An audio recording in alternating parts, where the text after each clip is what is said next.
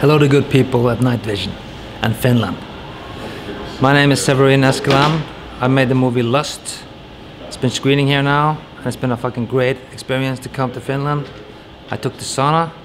It was fantastic. And I'm just here enjoying the city. And tonight I'm gonna enjoy it even more.